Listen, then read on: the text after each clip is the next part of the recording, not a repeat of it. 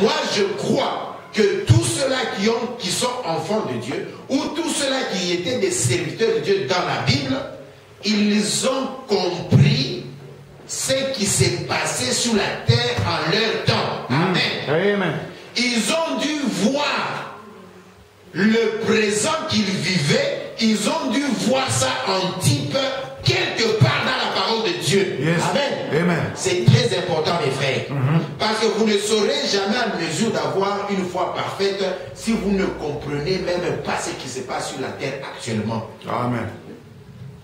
Or, ici, au temps de la fin, l'Ancien Testament et le Nouveau Testament ne parlaient que de ce qui devait se passer ici au temps de la fin. Yes.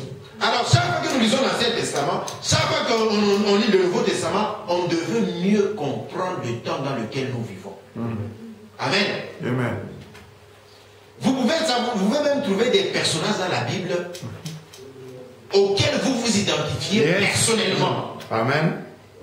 Après avoir vu le prophète que Dieu, avait envo- Dieu a envoyé, vous voyez les Éphésiens, vous devez aussi vous voir.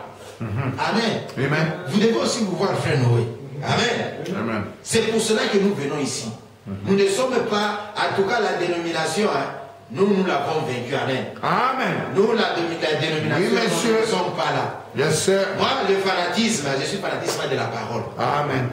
C'est la raison pour laquelle moi je marche. Donc, vous voyez même les enfants d'Israël, chaque fois qu'ils stoppaient, ils avaient tendance à, à rétrograder. Dans les choses de Dieu, c'est soit tu te rétrogrades ou soit tu avances. Il n'y a pas de position stationnaire. Non, non. Non, non, il n'y a pas de position stationnaire. Voilà pourquoi nous aimons des gens qui avancent avec la parole de Dieu. Amen. Si vous n'avancez pas vers la parole de Dieu, même si vous êtes devant nous, Aïe. nous, nous allons venir, nous, nous étions derrière. Nous allons venir, venir, nous allons vous trouver. Nous vous trouvons que vous avez aussi la vérité. Mais si vous vous faites seulement marquer les pas, marquer les pas, marquer les pas, marquer les pas, nous, nous allons dépasser, maintenant nous allons. Amen. Abongos. Il y avait ans, moi je ne savais même pas que la venue de Jésus. Alléluia. Je ne savais pas ça. Je ne savais, il y avait huit ans, je ne savais même pas que le tonnerre était révélé. Non, je non. ne savais pas. Non, non. Mais il y avait des gens qui voyaient déjà que les tonnerres sont révélés. Et moi j'étais loin derrière eux, mais eux au tonnerre révélé, ils ont commencé à marquer les pas, marquer les pas, marquer les pas. Un, deux. Non, non, il n'y a pas de position stationnaire. Non. C'est pour cela que tu m'as vu, je, je suis arrivé jusque là où tu étais au sein tonnerre, on a communié. Lorsque j'ai vu que toi tu as fait marquer les pas, moi j'ai avancé, maintenant tu appelles moi un faux frère. Amen. Faux frère, on a bien. Oh oui, et ne suis pas. Non, non. Nous, nous sommes les enfants de Dieu, nous quittons l'Égypte pour aller à Canaan. Yes, sir. Nous pouvons donc, on ne stoppe pas. Non. On ne fait que continuer. On ne fait que continuer. Amen. Amen. Même dans le royaume, tu es déjà arrivé dans le royaume, nous continuons toujours. Parce que si longtemps que nous sommes dans la chair, Dieu est plus que ceux que nous connaissons. Amen. Amen. Oui. Le frère me dit que s'il avait vécu 100 ans, il connaîtrait Dieu mieux Amen. Amen. Amen. Ça doit être ça. Oui, oui.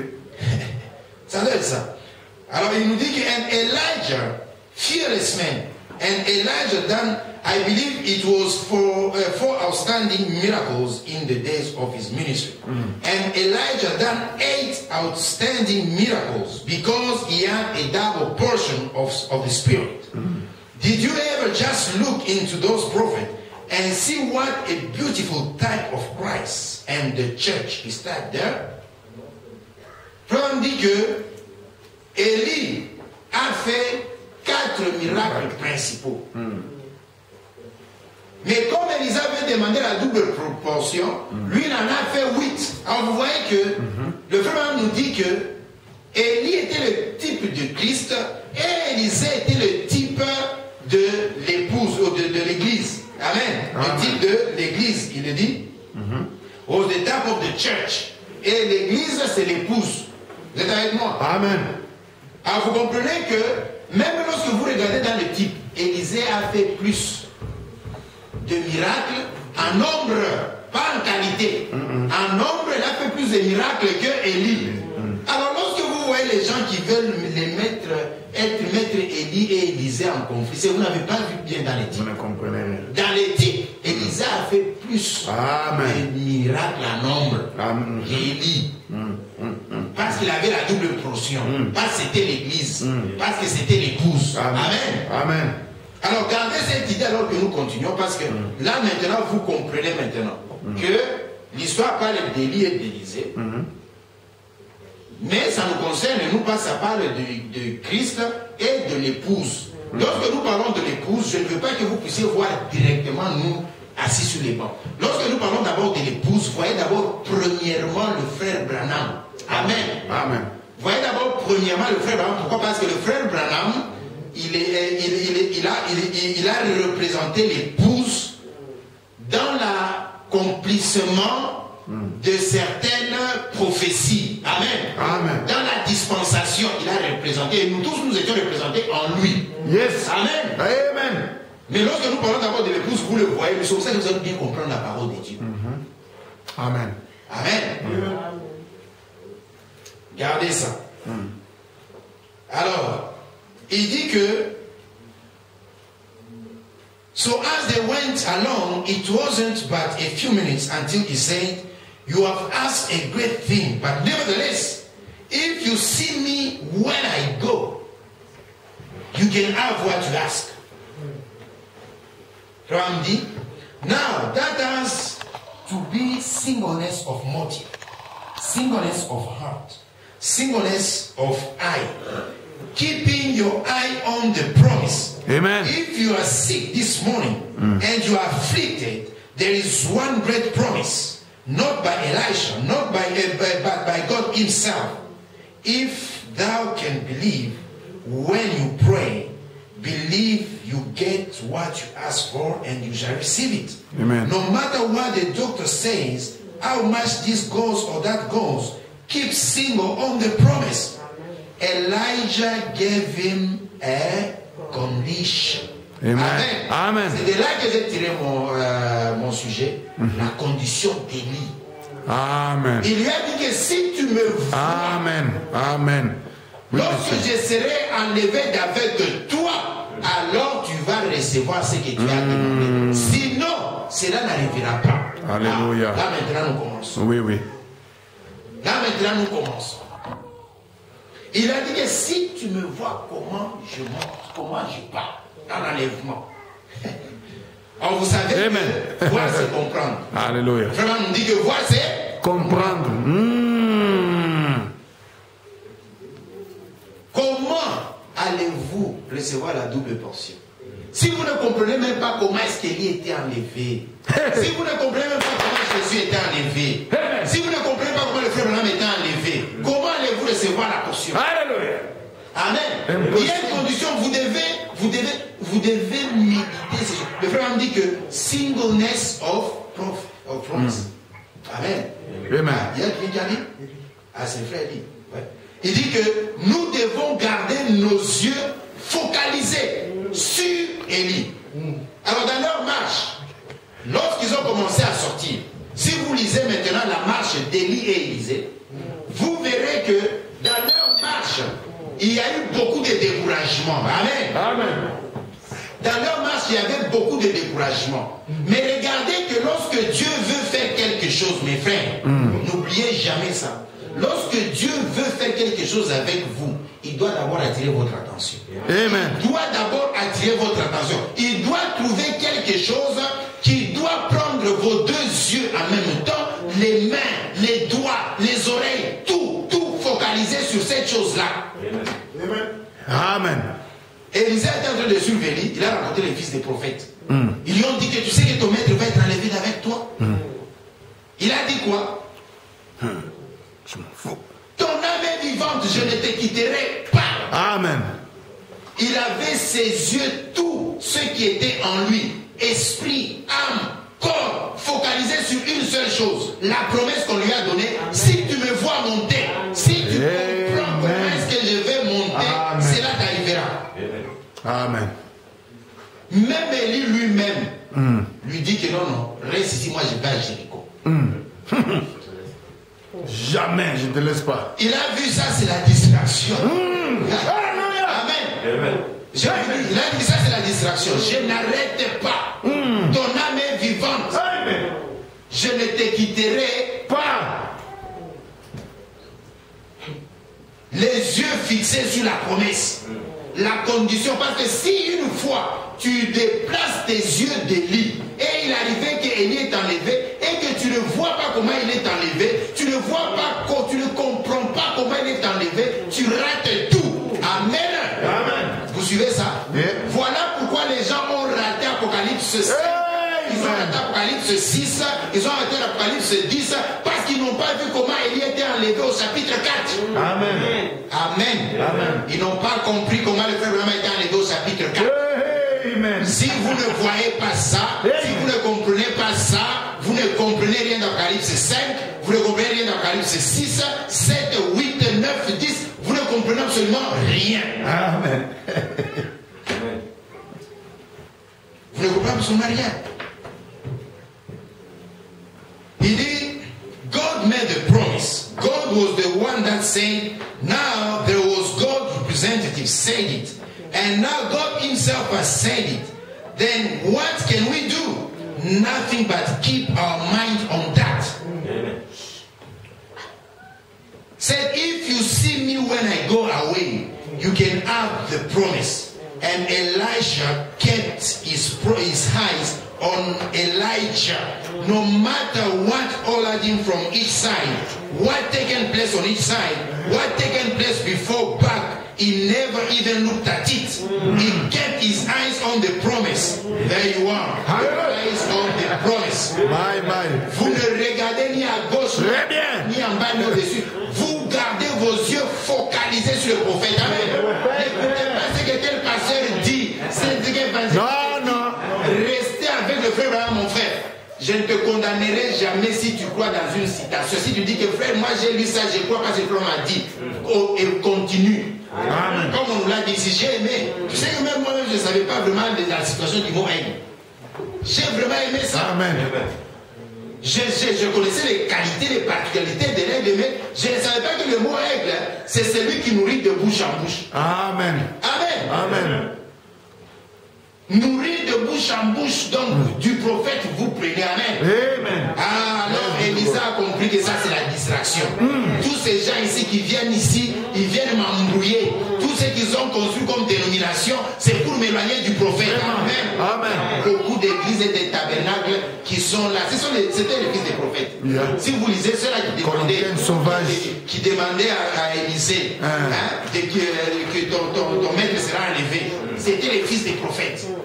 Donc les gens qui ont cru au prophète, qui ont fait des tabernacles pour vous éloigner du prophète.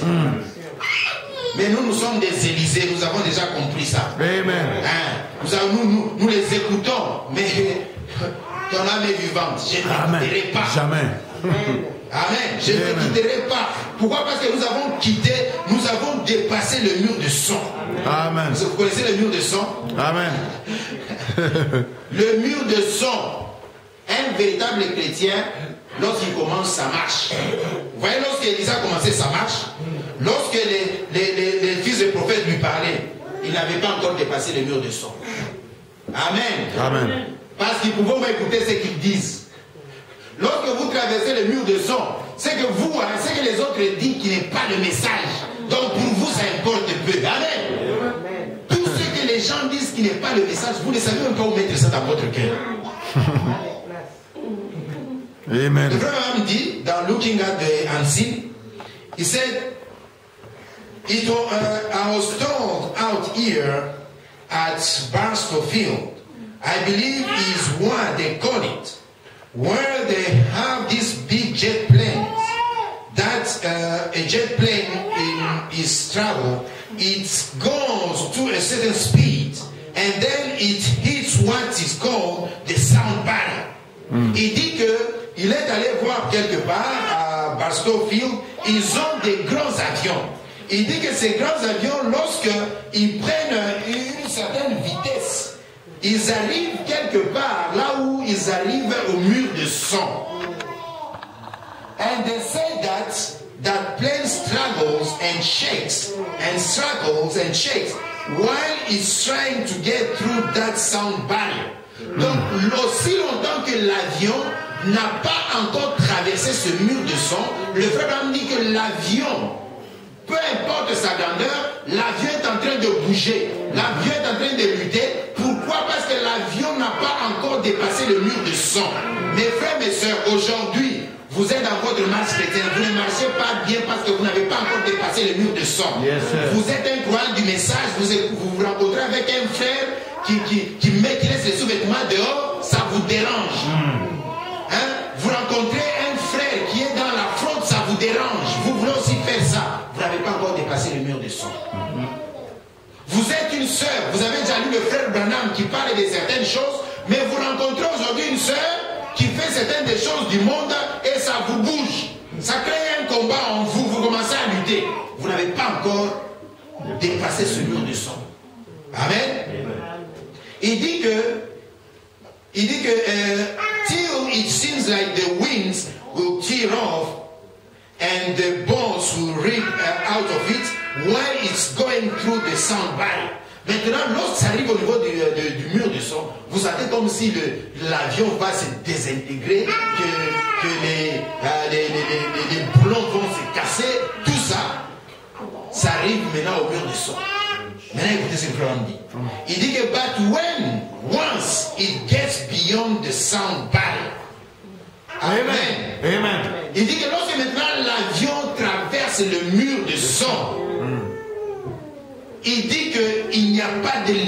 sa vitesse. Amen.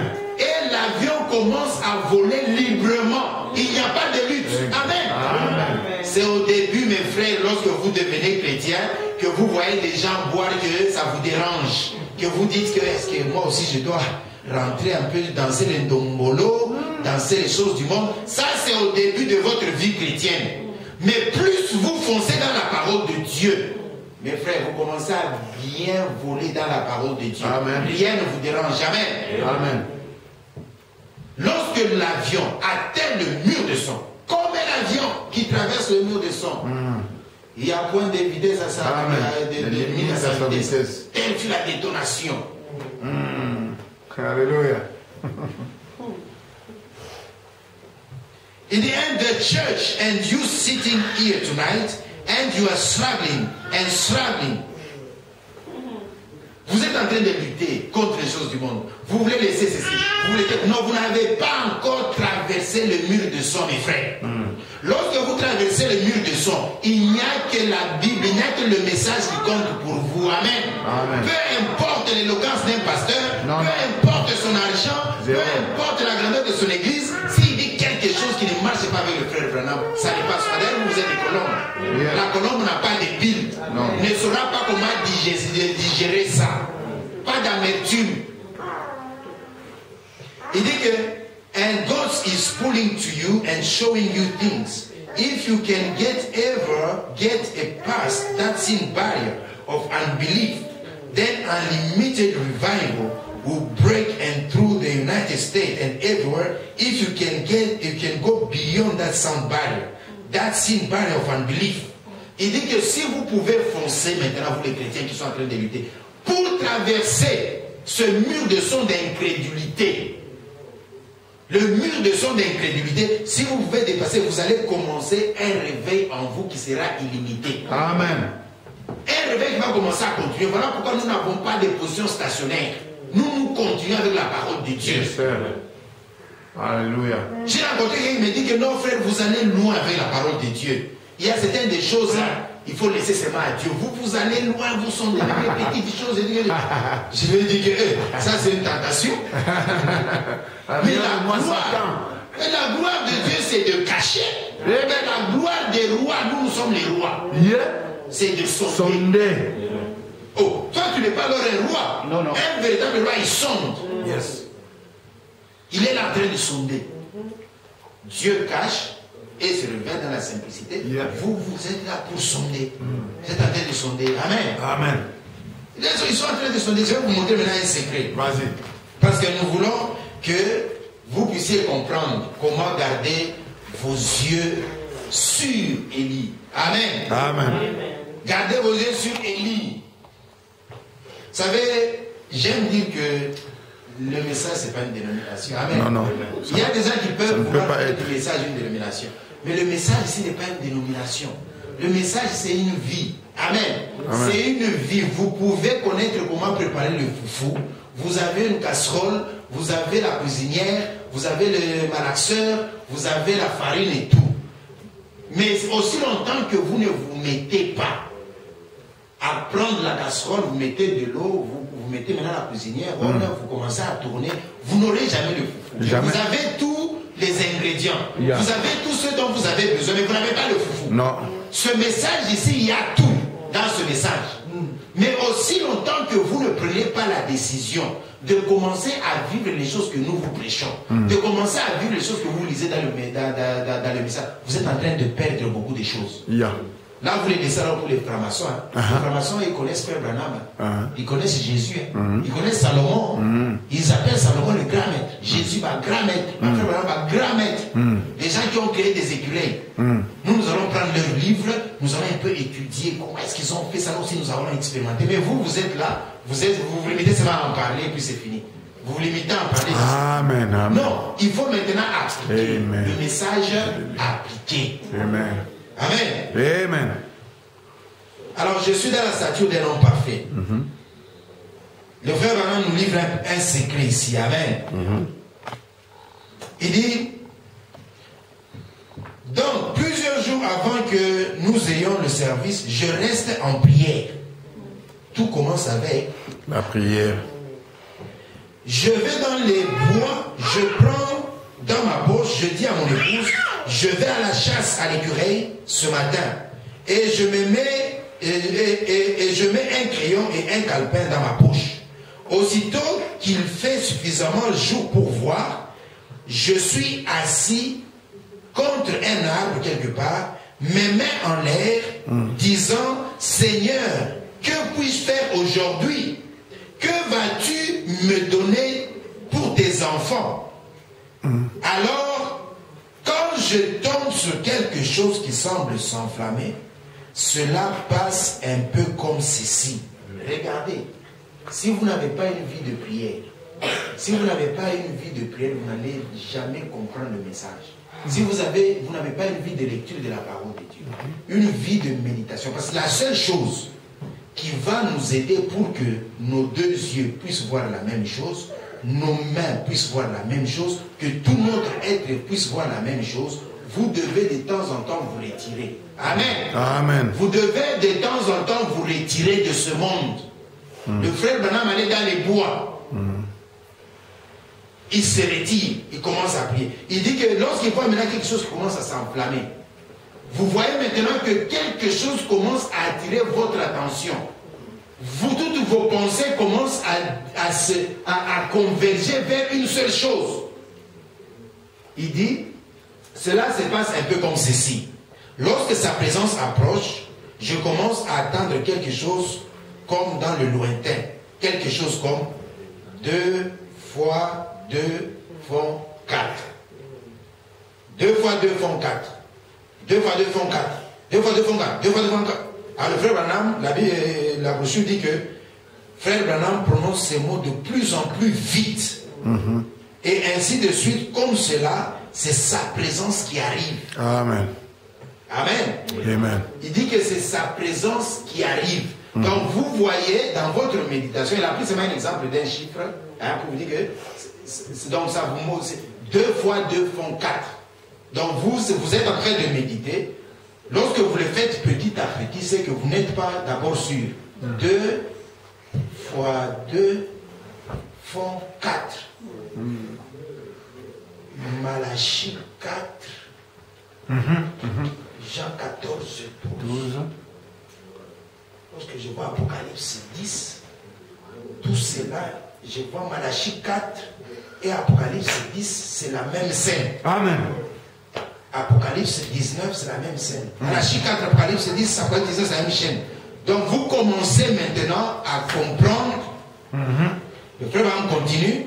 Il dit vous vous abandonnez et après un moment, vous vous détachez de vous-même. Amen. Amen. Nous le mur de son. Aussi longtemps que vous êtes dans la prière, vous êtes là, vous ressentez tout, vous connaissez que vous êtes. Non, nous devons percer ces mystères, frère- mes frères.